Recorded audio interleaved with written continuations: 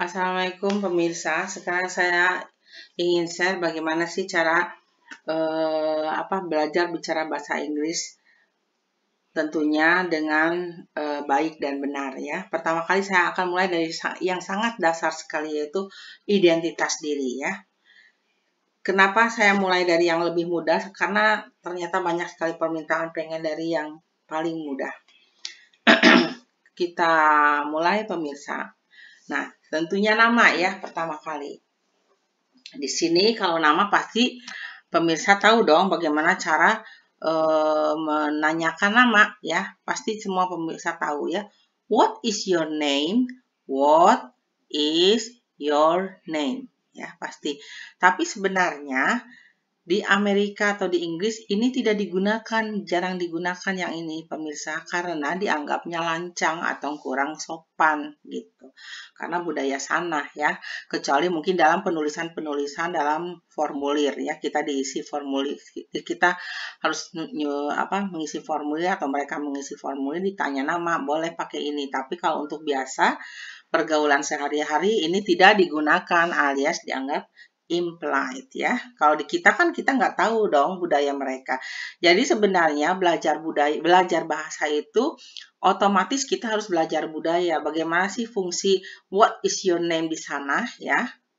Kemudian, nah kalau yang ini, ini lebih sopan dipakai di sana. May I know your name ya. May I know your name ya. Bisa. May I know bukan know tapi know your name Nah, ini yang digunakan di sana.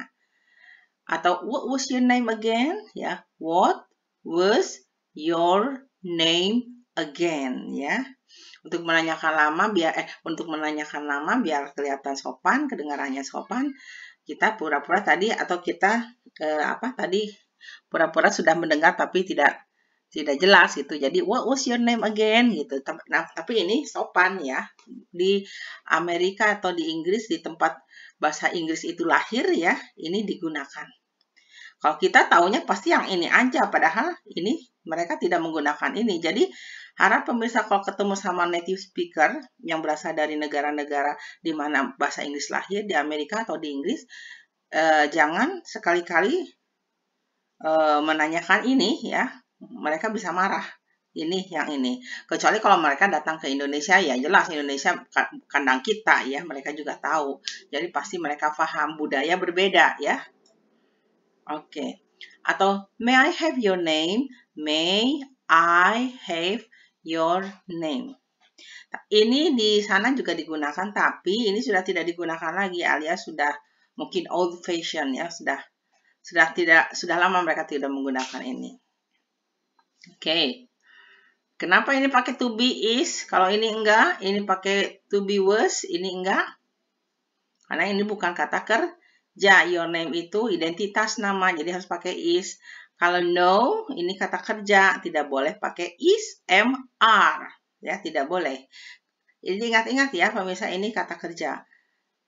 Ini juga bentuk lampau daripada is ya. Ini kata benda sama dengan your name. Jadi harus to be to be-nya lampau was ya. Is. Ini kata kerja have ya. Verb masuk verb jadi tidak pakai to be. Oke. Okay. Kalau bicara masalah grammar atau structure memang mumet pemirsa. Makanya mending diingat saja. Nah, jawabannya my name is Susan. Nama saya Susan. Ini boleh digunakan dalam konteks formal, biasa ataupun sopan. Bisa digunakan semuanya ya. Jadi ada berapa? Ada tiga. My name is Susan. Uh, atau bisa it's Susan. It's itu singkatan dari it dan is ya. Disingkat menjadi gini pakai koma di atas apostrof ya. Oke. Okay. It's Susan. Atau bisa my full name is Susan Hogan. Hogan ya. Nama lengkap saya adalah Susan Hogan. Ini juga pakai is kenapa? Karena Susan Hogan itu nama orang ya. Jadi nama orang, my name, your name itu pakai to be, is, am, are. Oke, okay, kemudian, oh ada lagi, you can call me Susan. You can call me Susan, artinya panggil saja saya Susan.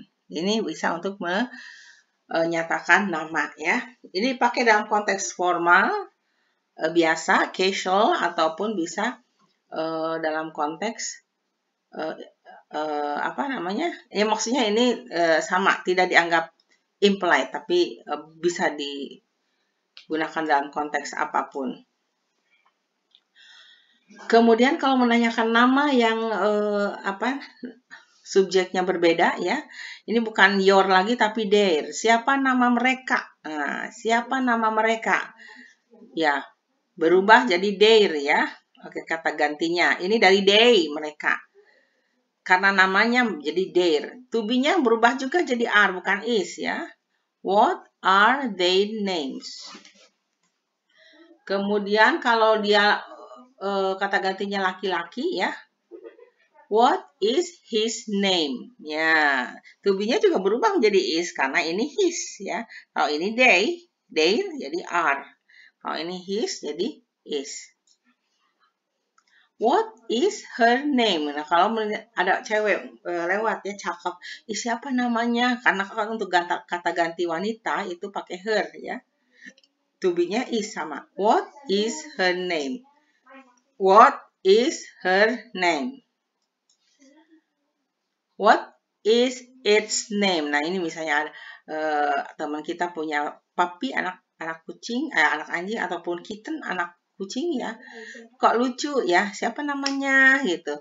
Kan untuk binatang biasanya atau atau untuk benda mati biasanya Pak penggantinya kata gantinya yaitu its ya. What is its name? What is his What is its name ya? Gitu.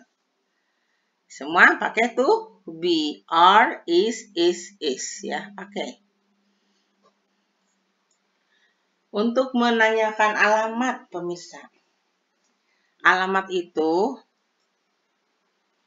bisa where do you live? Where do you live? Di mana kamu tinggal? Kenapa sih tidak pakai are, is, atau am? Karena ini ada kata live. Live itu merupakan kata kerja. Jadi kalau ada kata ini ya, tidak boleh pakai is mr. Ya, di mana kamu tinggal? Where do you live? Kemudian sama aja dengan menanyakan alamat. What is your address? What is your address? Ini kenapa sih tidak pakai do, do seperti ini? Ya karena your address sama dengan your name kata benda ya your address sama dengan your name kata benda harus pakai is ini tidak boleh pakai are is am karena ada kata live kata kerja ingat-ingat saja karena kalau saya jelaskan takutnya tambah mumet Oke, okay, jawabannya I live in Solo. Awas jangan I am ya, karena ini kata saya bilang kata live, kata kerja atau verb ya. Jadi tidak boleh I am live in Solo, salah. Atau uh, I living in Solo, salah. Harus begini bentuknya, ya. Ini juga jawab uh, cara membacanya bukan live ya, tapi live ya. Bisa juga live itu, itu untuk siaran langsung, misalnya dari YouTube siaran langsung, terus streaming bisa live ya. Nulisnya sama seperti itu, seperti ini, tapi artinya beda itu siaran langsung. Kalau siaran langsung dibacanya live, kalau tinggal dibacanya live saja. Atau bisa uh, bukan ke apa bukan I live ya bisa langsung ke alamat in Sudirman Street number 32 ya in Sudirman Street number 32 kalau di Amerika atau di Inggris di mana bahasa Inggris lahir ya kita ke nomor dulu baru ke jalan ya. Nah, ini kalau pertanyaannya dengan kata gantinya dirubah menjadi they ya.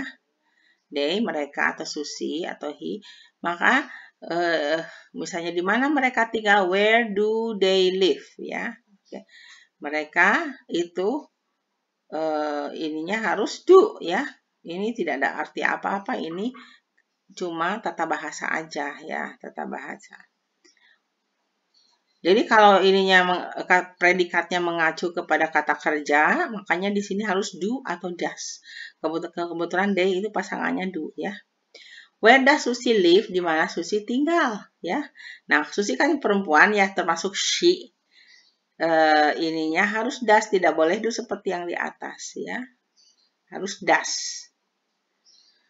Kemudian where does he live? Nah, ini untuk orang ketiga tunggal laki-laki di mana dia tinggal. Dia itu di sini he ya. Ininya harus does. Oke. Okay. Dia itu untuk laki-laki ya. Dia dengan jenis kelamin laki-laki. Jawabannya they live in Jakarta. Jangan they is, they are, jangan. Harus seperti ini kalau kata kerja. She lives next the traditional market. Ya, she lives next. Eh, she lives near the traditional market. Dia tinggal dekat pasar tradisional. Kenapa sih ini pakai S? Kalau ini enggak. Oh, harus diingat pemirsa. They, you, we, I, kata kerjanya tidak pakai S. Ini kata kerja atau verb. Kalau she, he, it harus pakai S ya. Atau kalau perempuan laki-laki ya, di kata gantinya adalah he, dia.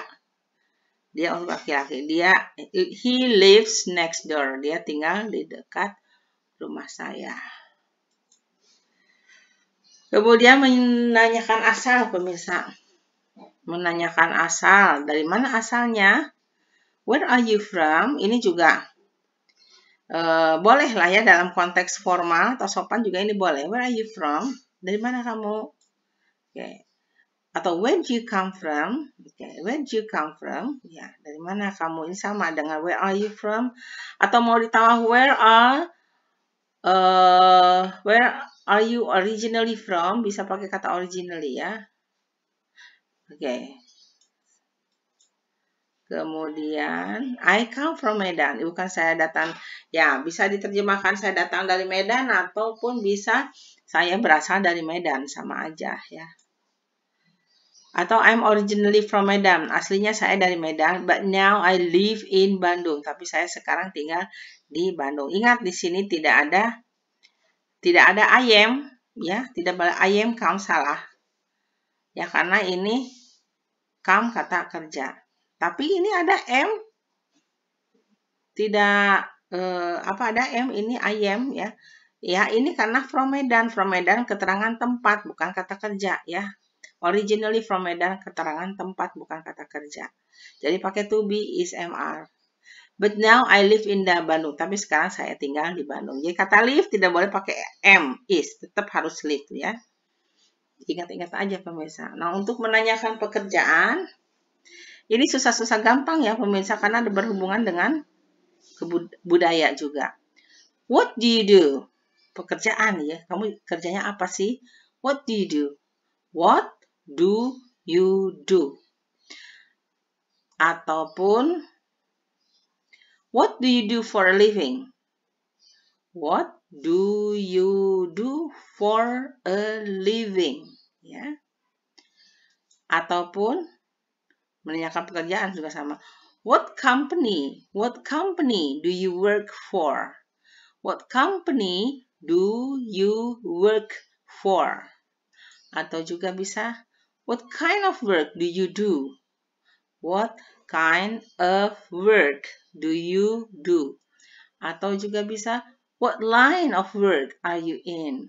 What line of work are you in? Oke. Okay. Atau what is your job? Apa pekerjaan kamu? Semua semua menanyakan pekerjaan ya. What is your job? Atau what are you? What are you? Ya. Atau what is your profession? What is your profession? Oke. Okay. Atau what is your occupation? What is your occupation? Semua ini pemirsa menanyakan uh, pekerjaan ya. Tapi perlu diingat seperti what is your name, what do you do itu kalau di negara asal di mana bahasa Inggris lahir di Amerika sana, ini kalau Anda menanyakan ini sama orang yang baru dikenal itu uh, artinya kurang sopan. Mereka tidak menggunakan ini karena kan dianggapnya lancang, tidak sopan mereka menggunakan ini ya. What do you do for living? Ini biasa Ya, biasa mereka menggunakan ini ya. Atau ini, what company do you work for? Nah, atau ini, maaf, ini what kind of work do you do? Ini dianggap sopan semuanya. What line are you work? What line of work are you in? Sama ya. Tetapi ketika kita mulai dengan menanyakan ini, what is your job? Atau what are you? Ini sama dengan yang ini. Dianggap kurang sopan, ya. Mereka bukan kurang lagi, nggak sopan. Lancang banget tuh orang yang nyebutin what is your job, ya. Lancang banget. Jadi mereka tidak menggunakan ini. Jangan sekali-kali ah, pemirsa kalau bertanya sama orang ya orang bule ya atau orang asing yang berasal dari negara Amerika atau negara Inggris jangan sekali-kali menanyakan ini harusnya seperti ini ya atau what is your kalau what is your profession what is your occupation ini dalam konteks sangat-sangat formal ya mending yang ini saja oke okay? itu karena kenapa belajar bahasa sama dengan harus eh, sama dengan kita harus mempelajari budaya negara setempat tapi bukan berarti kita mencaplok seluruh budaya tersebut. Kalau budayanya tersebut tidak cocok dengan budaya kita, ya jangan ditiru ya. Tapi kalau budayanya itu bagus, misalnya ada budaya yang independence, apa kemandirian mereka atau budaya yang mereka tidak memerlukan apa pertolongan orang lain atau misalnya kemandirian itu yang bagus. Tapi kalau misalnya budaya-budaya seperti itu jangan ditiru ya. I'm a teacher. Jawabannya bisa I'm a teacher. Saya seorang guru. Atau I work as a teacher. Saya bekerja sebagai seorang guru. Kenapa sih ada I am ini? Ini tidak ada I am. Yang sekali lagi a teacher adalah maksud kata benda atau noun ya. Udahlah jangan diingat-ingat istilah bahasa Inggrisnya kata benda ya. Benda hidup tentunya. Kalau work, work oh sorry maaf ya. Kalau work, work itu kata kerja ya. Kata kerja. Maksudnya ke verb. Jadi kalau kata kerja tidak boleh di sininya disempil is, are, salah ya. Oke. Masuk kata kerja. I run a property business. I run, I run a property business ya. I run a property business. Ini saya menjalankan bisnis properti perumahan. Oke, okay? di sini juga sama tidak ayam. Kenapa? Karena run itu masuk masuk ke verb atau kata kerja, ya. Paham ya pemirsa? Sampai di sini dulu. Uh, saya numpang iklan di sini ada iklan ya, iklan saya ya silakan bagi yang butuh penerjemahan ya karena saya juga seorang trans translator juga ya oke okay. silahkan kontak WA ini mudah-mudahan bermanfaat eh, nanti saya akan rilis video-video yang sangat bermanfaat terutama yang berhubungan dengan uh, speaking English ya if you want to speak English just stay tuned uh, to my all videos. Thank you very much. Assalamualaikum warahmatullahi wabarakatuh